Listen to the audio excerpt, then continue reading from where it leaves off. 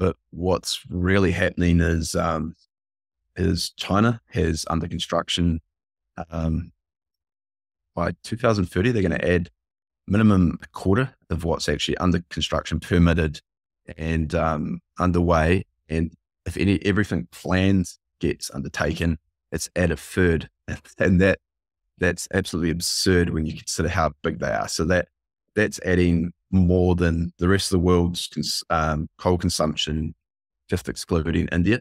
So you, it's just um, it's my numbers are just yeah numbers are massive.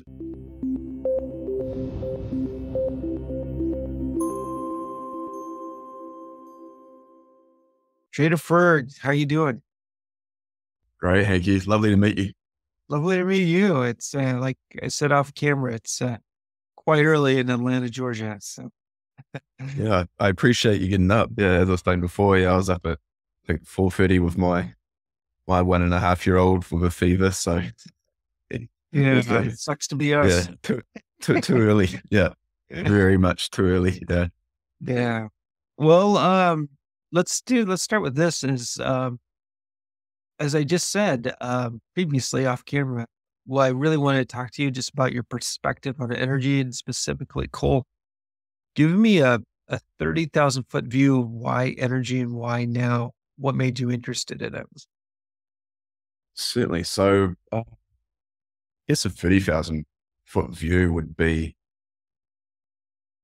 we're at a point where I think we're going to have another leg up in inflation and there's going to be a um, it's going to be a big rush for um, for like value for real um, intrinsic value, like assets that um, are going to be hard to replace, high replacement cost, whether that's um, whether that's mines, whether that's rigs, whether that's tankers, whether like I'm just um, looking for where I can buy assets that are hard to replace for cents on the dollar.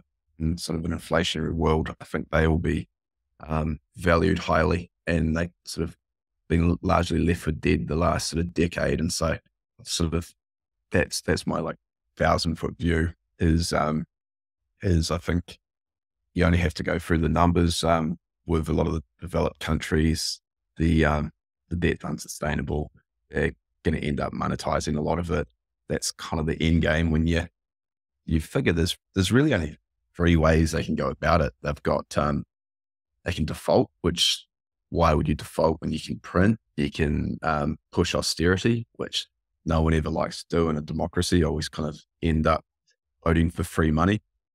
And so it, all roads lead to um, sort of printing away. It's kind of almost what we saw in the 30s and 40s. Like you just, um, you bring the debt to GDP back under control by um, monetizing the debt. I think once you arrive at that conclusion, then it's just a, a hunt for scarcity and what what's going to be valued the most. Like I've I've got this whole theory around um, like it's kind of like the polar opposite of we had the network effect, which has been like held up as the ultimate um, sort of goal. I think in this coming sort of coming decade, it'll be we call like the embedded energy effect, like what's hard to replace in an energy scarce, high inflation world. And that's where I've kind of been hunting, like hunting in all the hated areas. That's led me to coal. That's led me into the offshore um, services space. We have had companies that have just spent billions um, building a whole lot of rigs, gone bankrupt, written off all that debt, and still have all the assets on the balance sheet. Um, and yeah, that's guess that's my thousand foot view. That's how I come at the markets really and spend all my time in areas that most people like groan if you mention. Yeah. You know, it's interesting because I think of, you said the pennies on the dollar. I think of this time right now, similar to, and I didn't, I lived through this, but not in the Soviet Union. But I, I I see this as like similar to the fall of the Soviet Union when they had all the oligarchs made and they were just buying up assets or not buying up, but they controlled assets and owned assets, however they got them for that. And they would, you know, I mean, everything fell, but they owned all the resources. So I guess that's my best analogy or the way I think of it. Like I need to buy as many hard assets, whether that's energy or it could be a, a base metal even or a precious metal, but even a base metal, because if if things fall or when things fall or whatever, um, that's where you want to be. You want to own those things. Um, talk to me about specifically then energy. Is it is it primarily a monetary thing for you? Then is that what's gotten you interested, or is it is there a supply demand, um, mathematical calculus in? Yeah, yeah. So whenever I talk about um, sort of the Fed or anything like that, it's that's just sort of a um, this is the icing on top. I'm I'm looking at all these things with the supply demand. That's what gets me in in the first place. It's um, the the one that I was most attracted to, and it's still the majority of my portfolio is uranium because that was the first where I could I could map out the supply demand. It was the demand was knowable, which I just found fascinating. I'd never kind of come across it in all the investments I looked at. Like I could actually map out there's 450 odd uh, reactors um, globally, and there's 60 under construction, and you can kind of work out roughly how much they'll need moving forward. You can have a lower bound, you can assume some um, some additional restarts or something, but you can actually kind of arrive at a pretty pretty precise figure. And then you can work out how many pounds are being produced globally. And you can say, well, that doesn't, that doesn't work. And, it doesn't work um, It just doesn't work. And it's, it's, it's kind of that simple. Whereas there's, there's been some, some massive mistakes with people that are, are super smart and yet they assume the demand side, like a classics kind of lithium. Like you can, um, a lot of those demand numbers were based on like a, a huge sort of EV adoption and lithium ion being the winning battery chemistry. And I like question both of those narratives. And it doesn't matter how good you were on the sort of the mining mass, finding the best resource. Like you could have picked all of it and you still get smashed. And I kind of don't think I'm that smart. So I just want to make it as simple as possible to make sure that I've got a big margin of safety. Yeah. Just do the math. Um, well, let's talk about uranium. Is that something that has had a heck of a run? Or uh, since the summer. And I was, I was, uh, talking to somebody just the other day about it. They waited. You might have known him, Chris, uh, Chris MacIntosh. Yeah. Yeah. Yeah. No, yeah. he's, um, I, yeah, no, he, so my mentor for the last 10 year, uh, 10 years runs a fund with Chris MacIntosh. So the, guy that completely showed me the ropes for the entire game, Brad McFadden, he's business partners with Chris. And so yeah. Interesting. You kind of remind me of him. It's your demeanor. He's very calm. So, but, but well, what's interesting though, he was long uranium, I want to say in 2016, 2017, and he waited. He just waited. He said 16, 17 years. And yeah, did you have to wait a while? Because I mean, it's been such a tear recently. And so that's my question is twofold. Did you, you did you have to wait a while and are you still feeling the same way or see the same things in that trade? Yes, I had to wait a while. I was quite lucky in that I didn't have a lot of money at the time that he was first getting involved because also Brad, my mentor, was getting involved in that sort of 16, 17. And I was still largely income trading because I'd quit my corporate job and was kind of needing to produce income sort of month out uh, month in, month out, and had sort of a strategy around that. That strategy stopped working around 2019. Um, and so I had a lot of cash sitting around, which was quite fortunate when March 2020 rolled around and I'd really built up my conviction on uranium. Yeah. So that, that was just a huge stroke of luck for me. And that's, yeah, what I've kind of built the base of my portfolio on. Um, but yeah, I'm I'm still bullish. Um, I often say like the asymmetry's gone. I don't think.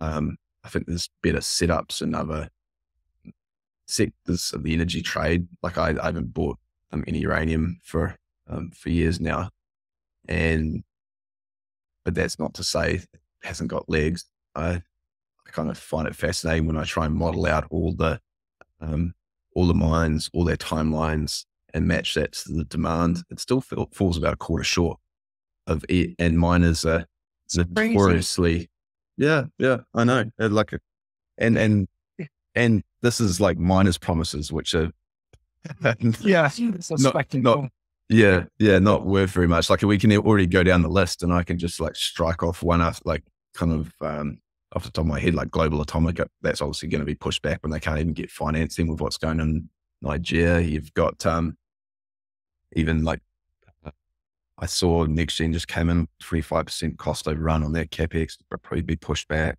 Like it, it's the game. It's hard. Mining's a hard game, and it all gets pushed back, takes longer. And there's also an assumption that there's just um, there's the professionals sitting on the sideline ready to put all these projects to it. It's hard. Like if you if you look at the last bull market of all the promises made of um, developers bringing it into production, Paladin was the only developer that brought it in uh, uranium mine into production without the help of a, a major or a JV with a major, and like take over MM, M&A or a JV with a major. And so, yeah, when you look across all all the developers, there's going to be a, a lot of um, broken promises and um, and pissed off investors. Yeah. But it seems like uh, you I don't want to say you moved on, but you looked at other places. Um, so let's, or are you're looking at other places. Uh, let's talk about that. Um, I, I, I don't know how old the uh, article was, but you wrote on your Substack how you were bullish oil. Is that s- still the case? Is that something you're still looking at? Crude oil? Yeah, yeah, certainly. No, I've um, it's one of the areas I'm most bullish on at the moment. I still continue um, buying small unloved companies um, that are um, all around the offshore oil complex. I, I love that um, that sort of offshore oil services, whether it's OSVs, jackups, um, rigs, and also looking at all like the kind of the support industry. I want to find the little companies there that um, that are highly cyclical, unloved, and become lean and mean. Often had recaps, bankruptcies, and I think they're well positioned for the future because, like, I guess backing out with why I'm so bullish on oil, I just see demand continually grinding higher. It's like the, the IEA just forever is underestimating developing market growth.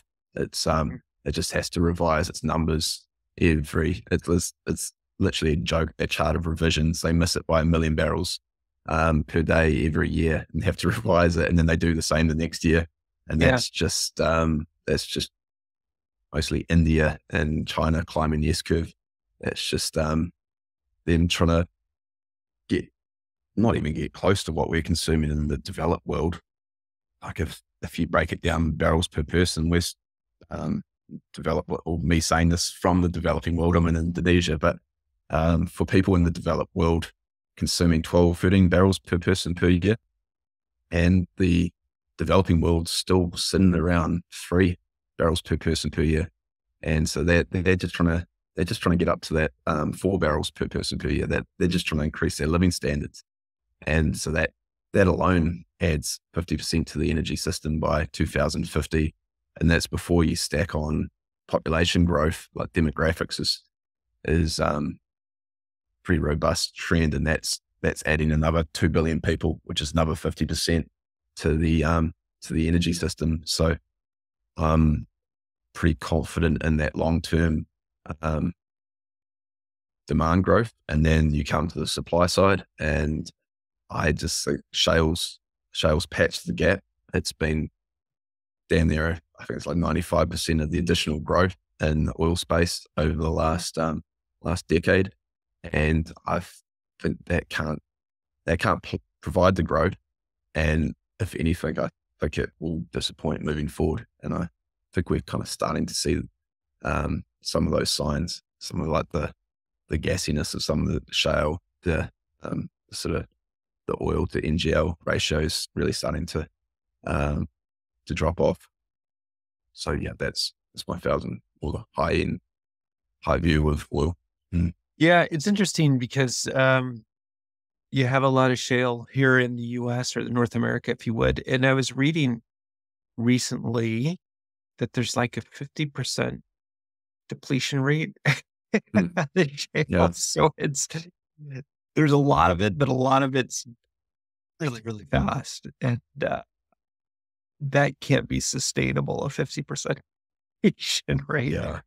It sounds to me though that, that you're more interested though in um, the service, the service, oil service uh, industry or companies. That's how you're playing it as opposed to uh, uh, production. Is that correct? Yeah.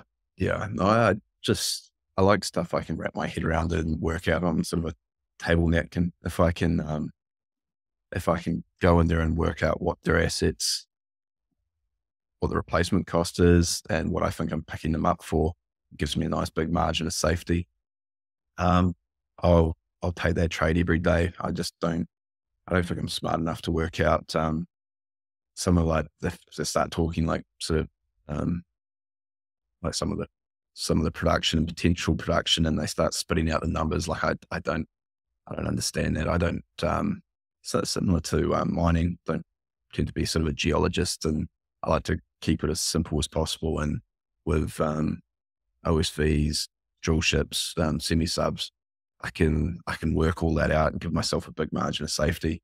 And also think offshore is going to be um, where a lot of like the additional growth is going to have to come from. It's just with um, with the, the shale boom, um, it just made so much more sense to um, not only from sort of a return, like you get a, a quick return on on your capital, you also didn't have to invest billions in long term projects when supposedly we're getting off oil with the the whole sort of the climate agenda. Like, and I'll take the other side of that all day long. I think that's taking the other side of the um, ESG climate agenda. That's going to be very profitable over the next decade. Got it. Um, it's interesting. Yeah, I want to get that in a second. Uh, your methodology. Um, because it seems like you're very, uh, again, it goes back to you're very basic, simple, but you're also mm-hmm. very calculated. Um, but before I go there, let's talk about coal. Um, why are you so interested in coal? And I'm going to have another analyst on. Analyst is the wrong word, but he is an analyst, an investor on next week. You might have, you might know him. His name is Matthew. He's here in the U.S. Yeah. Matt Warder. Yeah, yeah, you, you, should just ignore what I say about coal and just ask him. He, he, he he's the man. Yeah, no, he's fantastic. I I follow him super closely and yeah, respect respect his view immensely. Yeah, and it's a well, lovely guy as well. Mm. I I yeah, he is. Sounds like a great guy. I'll send you the link uh, uh, with my interview. I'd love but, that. Uh, Thank you. Yeah. Um, talk to me about coal. Um, why are you interested in the uh, and coal, uh, it's such an unloved asset. And I would agree with you too. And I know very little about it, but I would say I agree with you. I'm very interested in coal. And I guess to set this up is my, um, I talked to an, another guest I had on and it was, it was just, his position was how much of the world, specifically India and China, use coal and we don't mm-hmm. really realize that it's such a cheap and viable. It needs to it needs to be used for the vast part of the country. I mean, the world. So, but what's your why are you interested in coal and why are you investing in coal? Yeah, so um, I'm a massive coal bill, and this is, I guess, the high end view is like going back to how I described uranium, where the demand's knowable and the supply, um, there was just massive supply destruction. We're seeing similar play out of coal, except the demand side is just, um, I call it like inconvenient demand or, um, or like demand that no one wants. Yeah, no, no, no one wants to, um, accept it. You, you see charts put up, which, uh, cherry picked and showing Western coal demand like dropping off a cliff, like they often see the UK or the European and falling from top left to bottom right. But what's really happening is um, is China has under construction um, by 2030, they're going to add minimum a quarter of what's actually under construction, permitted, and um, underway. And if any everything planned gets undertaken, it's at a third, and that that's absolutely absurd when you consider how big they are. So that that's adding more than the rest of the world's cons- um, coal consumption, just excluding India. So you, it's just um, it's my numbers are just yeah numbers are massive, and then you have India, which was um, was supposedly going on a big renewable binge. Um, they held, I think it was the um, it was the G20 and I it was in Mumbai, and they were everyone was expecting sort of to double down on the renewables, and they turned around and they they're um, adding 25 percent to their coal fleet by 2030, and this is um, this is both of them are just massively ramping, and this is because they um, like I always love to quote the Indian energy minister, and he's like, I will not um, I will not um, compromise on my growth, and uh, growth economic growth comes from energy. You um, you can't do it with renewables.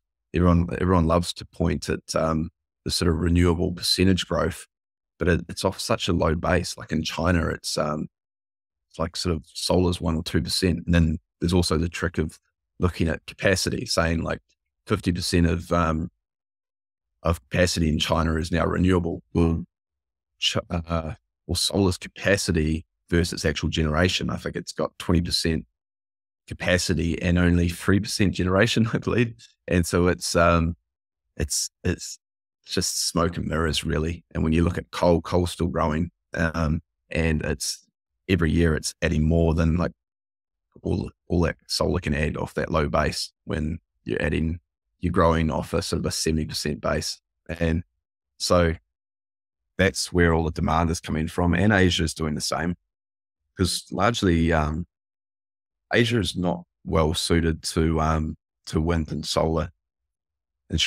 Interestingly enough, like there's there's certainly um, segments of it, but um, all the demand profiles adding a lot of air conditioning, and that that you need um, you need base load, you need um, which wind and solar can't can't add. The, battery storage isn't there, and so it, it's all going to come from coal.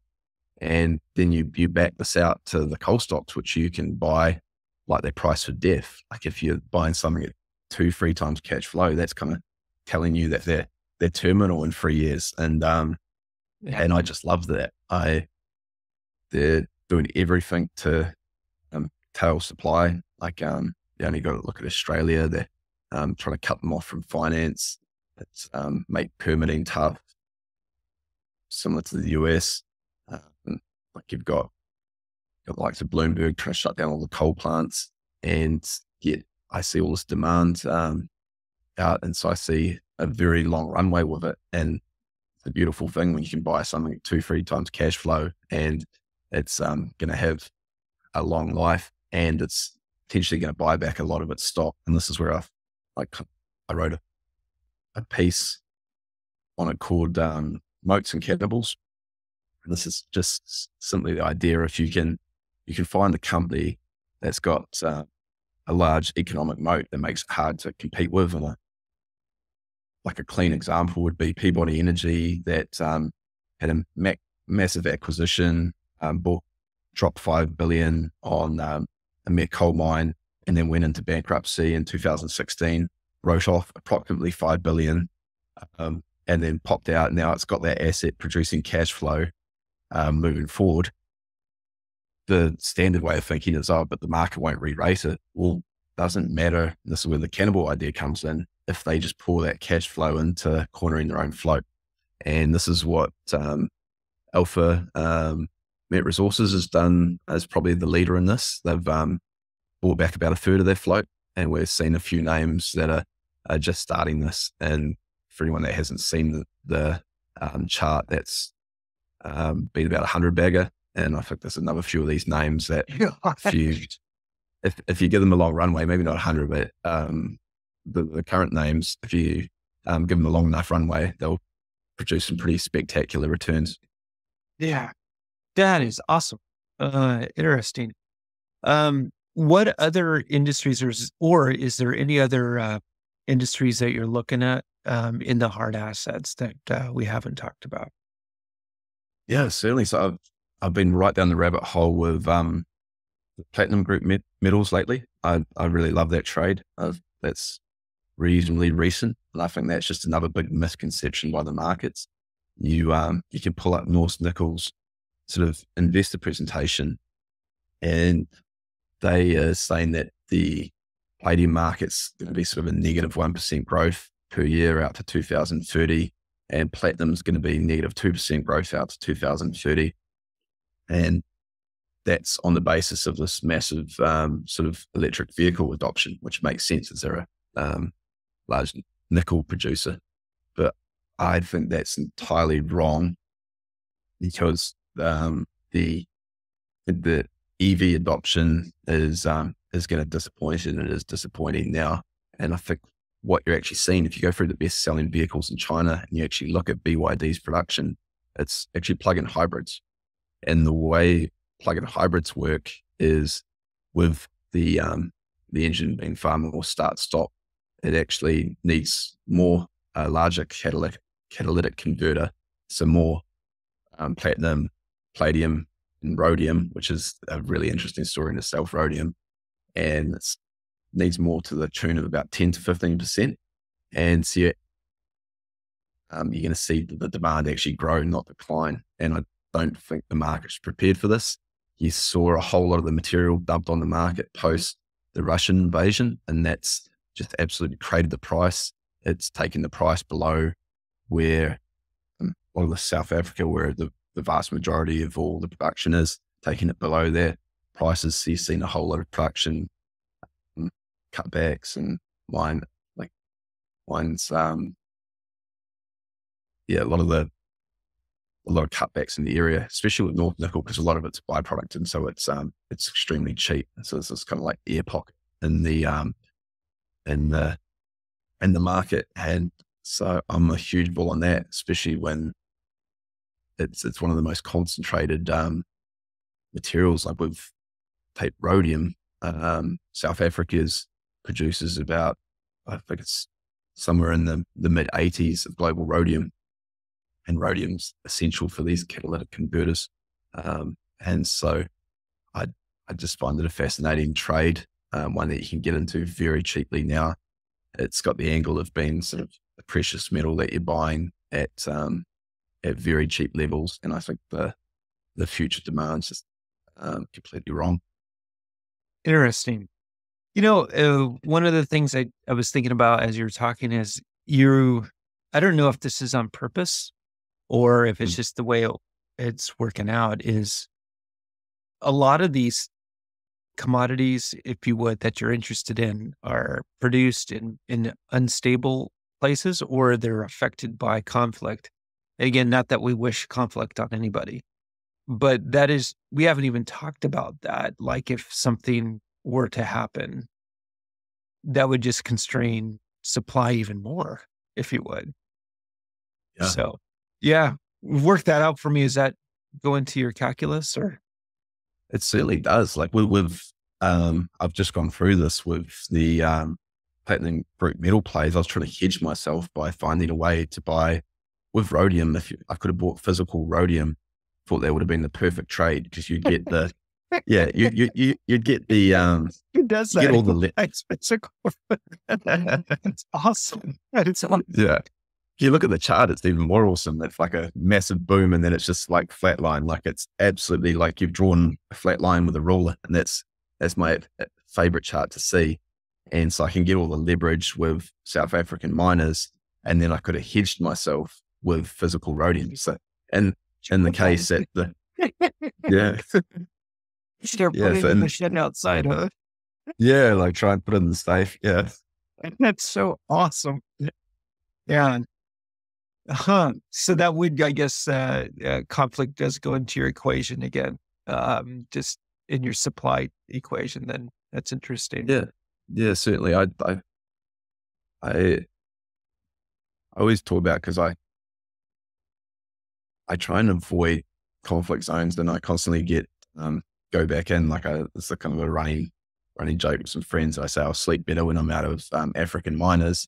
And then I end up loving the value proposition and going and buying another African African miner every few months. I'm like, oh, yeah, um, I'm back in there. So yeah, yeah, maybe well, maybe it all goes wrong. Mm. Yeah, if you're compensated accordingly for your risk, yeah, I mean, why not? So, well, interesting. Um, I want to thank you so much for your time. Any any any parting thoughts as we're wrapping up here? Any advice that you would give to our viewers and listeners? Uh, just Great. keep it simple. Keep it simple and have a have a strategy that you can stick with and that you can just stomach the volatility. See a lot of mistakes being made by trying to avoid volatility. Um, when when you have conviction, um, volatility is your friend, gives you a chance to get in cheaper. And so, and the only way you really get conviction is doing the work and understanding that um, volatility isn't risk. It's just, um, it's just, it's just an opportunity. If you can, um, if you can size stuff right, like this comes into position sizing, which is super important. I've often said the position size is a stop loss. So there's a whole lot of unknowable risk that I'll never be able to fully account for. And so I account for it with a position size. I'm very strict with my position sizing. I almost never go above 5%. Um, and um, I kind of take care of it, yeah, with strict position sizing.